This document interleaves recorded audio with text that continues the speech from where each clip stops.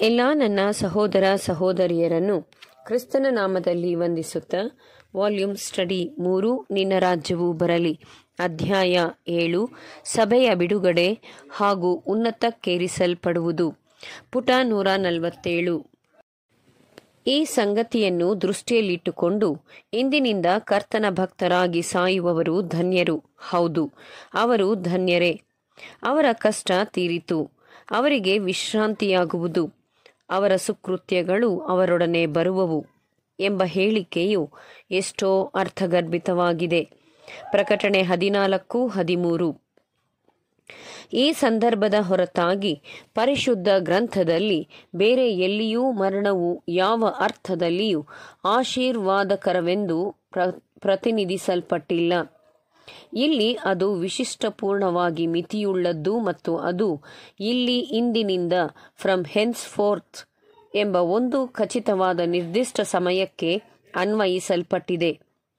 ಆವಾಗಲೂ ಅದು ಸತ್ತವರು, ಸಾಯುವವರು ದ ಡೆಡ್ ಹೂ ಡೈ ಎಂಬ ಒಂದು ವಿಶೇಷವಾದ ವರ್ಗದವರನ್ನು ಮಾತ್ರವೇ ಆಶೀರ್ವದಿಸುವುದಾಗಿದೆ. ಈ ಹೇಳಿಕೆಯನ್ನು ದೊಡ್ಡ ತಪ್ಪು ಎಂದು ಎಣಿಸಬಾರದು. ಆದರೆ ಒಂದು ಸಣ್ಣ ವರ್ಗದವರಿಗೆ ಮಾತ್ರ ನಾಟುವಂತೆ ಪ್ರಭಾವಯುತವಾದ ಹೇಳಿಕೆ ಮತ್ತು ಪರಿಗಣಿಸತಕ್ಕದ್ದು.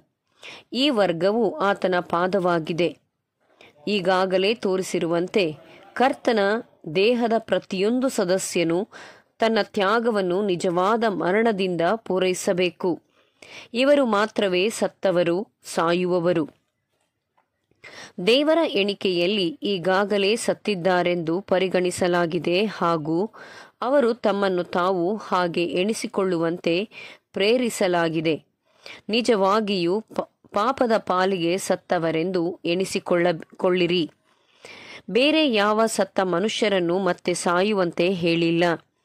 ಈ ವರ್ಗದಲ್ಲಿ ಸತ್ತವರನ್ನು ಹೊರತುಪಡಿಸಿ ಅವರು ಮರಣಿಸಿ ಮತ್ತು ತಮ್ಮ ಬಲಿದಾನದ ಅವಧಿಯನ್ನು ಮುಗಿಸಬೇಕು.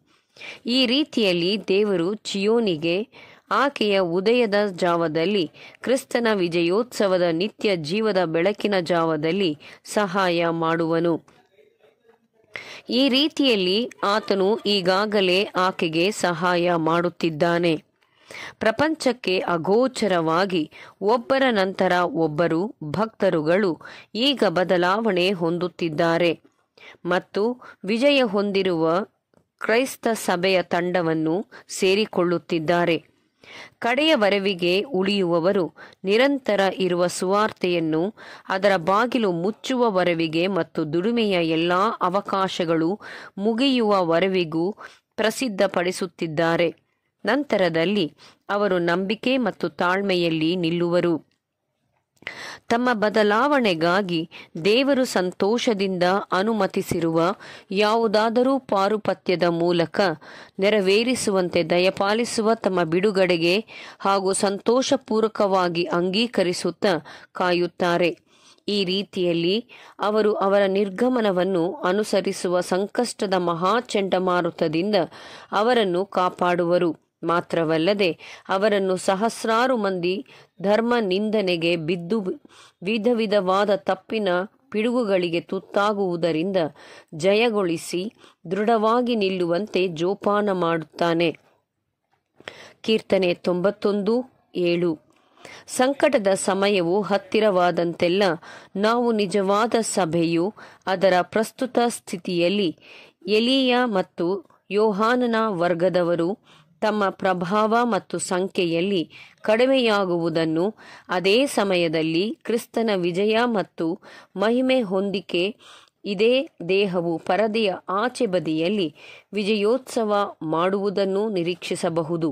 ಇದನ್ನು ಯೋಹಾನನು ಪ್ರವಾದನೀಯವಾಗಿ ಹೀಗೆ ಸೂಚಿಸಿದ್ದಾನೆ, ಆತನು ವೃದ್ಧಿಯಾಗಬೇಕು, ನಾನು ಕಡಿಮೆಯಾಗಬೇಕು ಅಂದನು. ಯೋಹಾನ ಮೂರು ಮೂವತ್ತು ಎಂಬುವಂಥದ್ದೇ.